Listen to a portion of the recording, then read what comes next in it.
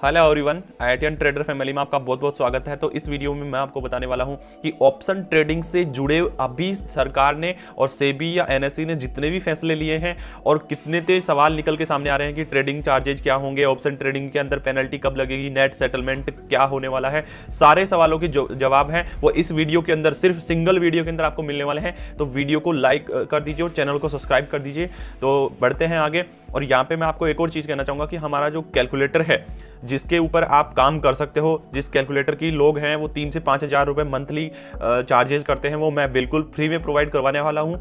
ये कैलकुलेटर है, वो आपको कैसे फ्री में मिलेगा वीडियो के अंदर ही मैं बताने वाला हूँ तो वीडियो को पूरा देखिएगा और वीडियो के लास्ट में भी मैं आपको जो चीज़ें हैं कि कैसे कॉन्टैक्ट कर सकते हो, वो बताऊँगा। तो चलते हैं वीडियो के अंदर। तो अब यहाँ पे जो न्यूज़ आ रही है, सबसे पहले मैं आपको बता देता हूँ कि सब जो एसटीटी है, उसके रिगार्डिंग जो वित्त विधेयक के अंदर बातचीत हो रही थी कि देखो, आपको चार्जेज क्या क्या चेंज हुए हैं? जो आप है डिलीवरी के अंदर जो स्टॉक की डिलीवरी लेते थे या इंट्राडे में काम करते थे, उनके अंदर सिक्योरिटी ट्रांजैक्शन चार्जेज के अंदर कोई भी चेंजेस नहीं किया गया है। क्लियर चीज़ है? फिर आप ऑप्शन ट्रेडिंग के अंदर काम करते थे, जैसे इंडेक्स फ्यूचर्स है और इंडेक्स ऑप्शंस के अंदर काम करते थे। तो इंडेक्स फ्यूचर के अंदर, जहाँ पे जो सिक्योरिटी ट्रांजैक्शन चार्ज था पॉइंट ज़ीरो वन परसेंट उसको बढ़ा करके point zero one two five percent कर दिया। यानी एक करोड़ के सौदे पर आपका सिक्योरिटी ट्रांजेक्शन चार्ज पहले एक हज़ार रुपये लगता था, अब बारह सौ पचास रुपये ढाई सौ रुपये ज़्यादा लगेगा। इंडेक्स ऑप्शन के ऊपर, ऑप्शन यानी कि ऑप्शन ट्रेडिंग करते हो तो उसके अंदर पहले पाँच हज़ार रुपये लगता था एक करोड़ के ट्रांजेक्शन पे, ठीक है? यानी कि पॉइंट ज़ीरो फाइव परसेंट लगता था। अब उसको क्लियर कर दिया है कि अब आपके बारह सौ पचास रुपये ज़्यादा लगेंगे, यानी बासठ सौ पचास रुपये लगेंगे। अब ऑप्शन ट्रेडिंग की जो उस ऑप्शन ट्रेडिंग है, उसके अंदर जो एस टी टी चार्जेज है, उसको पच्चीस परसेंट बढ़ा दिया है। तो आपको ये चीज़ें क्लियर हो गई होंगी कि कैसे चार्जेज चेंज कर दिए गए हैं। अब दूसरी चीज़ चलते हैं कि आपके ऊपर पेनल्टी कब लगेगी। तो ये जो स्लाइड है, वो आपके ऊपर पेनल्टी की नहीं है, ये स्लाइड है, वो ब्रोकर के ऊपर पेनल्टी की है। आपके ऊपर पेनल्टी कब लगेगी, वो नेक्स्ट स्लाइड में बताता हूँ। तो यहाँ पे जैसे आपके पास जितने भी ब्रोकर होंगे, उन पे ये पेनल्टी लग सकती है। और ये कैसे लग सकती है, मैं आपको थोड़ा सा क्लियर करता हूँ। जैसे मान लो ये एक ट्रेडिंग की, जैसे आप कोई भी सौदा डालते हो बाई करते हो तो उसमें क्या होता है कि आपके यहाँ पे आपको दिखा देता है कि कितना मार्जिन रिक्वायरमेंट है। लेकिन अब से क्या होगा कि यहाँ पे मार्जिन के साथ साथ में जो ब्रोकर है, वो आपको बाइंग का सौदा डालने से पहले ही आपको कितने ब्रोकरेज चार्ज लगेगा, कितने अदर चार्जेज यानी जीएसटी कितना लगेगा सिक्योरिटी ट्रांजेक्शन चार्ज कितना लगेगा, सारी चीज़ों को एक साथ करके यहाँ पे दिखा देगा कि इतना आपके चार्जेज लगने वाले हैं, ब्रोकरेज इतना लगने वाला है और अदर चार्जेज आपके इतने लगने वाले हैं, यहाँ पे पहले ही दिखा देगा। अगर वो नहीं दिखाता है ना तो ब्रोकर के ऊपर पेनल्टी लगने वाली है और ये इकतीस मार्च से शुरू हो जाएगा और ब्रोकर के ऊपर पचास की पेनल्टी लग सकती है।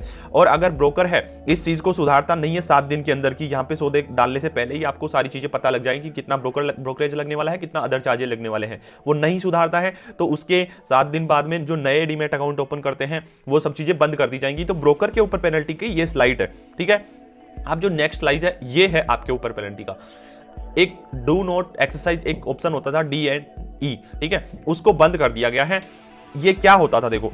इसमें होता था कि मान लो कि आपने कोई सौदा बाई किया या सेल किया।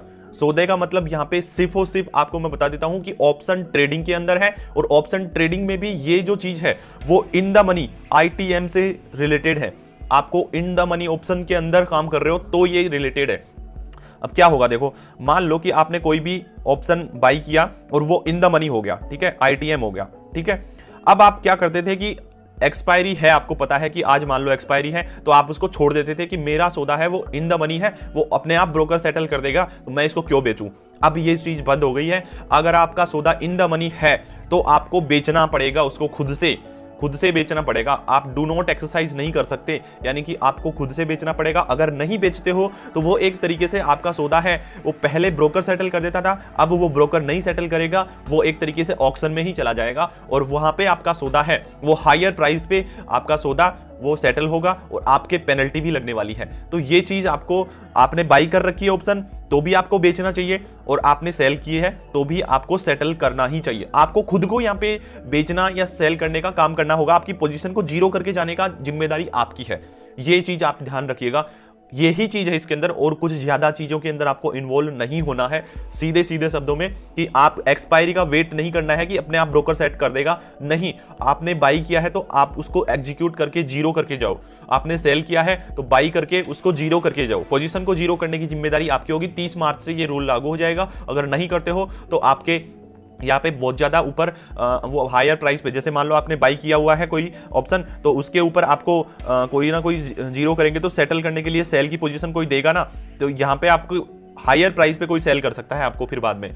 तो वो आपके लिए ज़्यादा प्रॉब्लम हो जाएगी क्योंकि हायर प्राइस पे आपको फिर वहाँ पे सेल की बाई किया हुआ है तो उसको सेल करने के लिए आपको लो प्राइस पे भी कर सकते हैं और हाई प्राइस पे भी कर सकते हैं क्योंकि वो ऑक्शन के जैसे ही चला जाएगा आपके पेनल्टी भी लग जाएगी साथ में। तो ये चीज़ आपके हो गई कि आपको ऑप्शन ट्रेडिंग में क्या सावधानी रखनी है, तीस मार्च से। और ये सब इंडेक्स हो, चाहे ऑप्शन हो, सबके ऊपर लागू है, इन द मनी के ऊपर लागू है। ये चीज़ क्लियर कर देता हूँ। चौथी चीज़ है D N E do not exercise तो खत्म हो रही है। नेट सेटलमेंट शुरू हो रहा है। नेट सेटलमेंट क्या है देखो, और ये मार्च 2023 की एक्सपायरी यानी मार्च से ही जो शुरू होने वाली एक्सपायरी उसके ऊपर से ही लागू हो जाएगी अब इसमें क्या होगा कि मान लो कि आप एफएनओ और कैश ट्रेडिंग दोनों करते थे। अब उसमें क्या होता था कि आपका जैसे मान लो कि ब्रोकर है, वो सेटलमेंट यानी कॉन्ट्रैक्ट नोट भेजता था आपका तो वहाँ पे आपका, यहाँ पे इक्विटी का अलग होता था और फ्यूचर एंड ऑप्शन का अलग अलग सेटलमेंट होता था।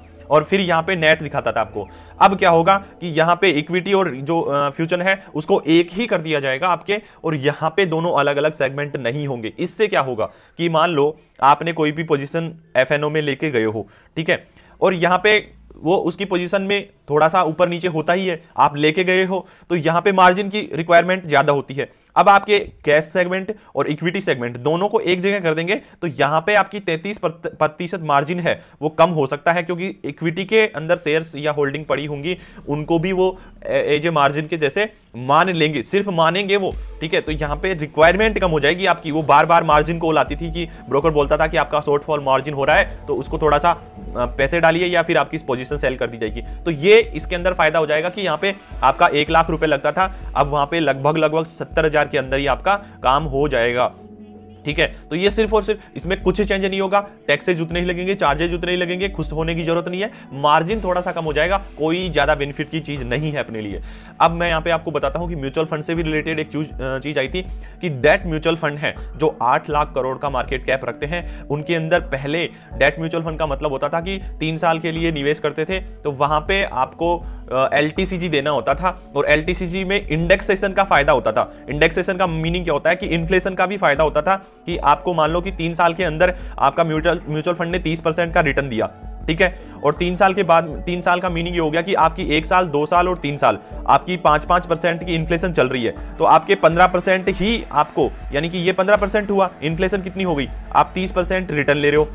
और 15 परसेंट आपका इन्फ्लेशन से खत्म हो रहा है वहाँ से। तो आपको नेट बचत कितनी हुई? 15 परसेंट ही हुई ना? तो आपको सिर्फ़ 15 परसेंट ही आपको रिटर्न मिला है एक तरीके से। तो उस 15 परसेंट पे ही टैक्स देना होता था। लेकिन अब अगर मान लो कि 15 परसेंट पे टैक्स देते थे तो वो 20 परसेंट टैक्स देते थे और विदाउट इंडेक्सेशन लेते थे तो आपको 10 परसेंट टैक्स देना होता था। अब ये इंडेक्सेशन का खत्म कर दिया मामला कि आपको एग्जैक्टली जितना रिटर्न मिल रहा है, वो आपको टैक्स देना पड़ेगा और वो टैक्स लैब के हिसाब से होगा। ये एक न्यूज़ नेगेटिव है।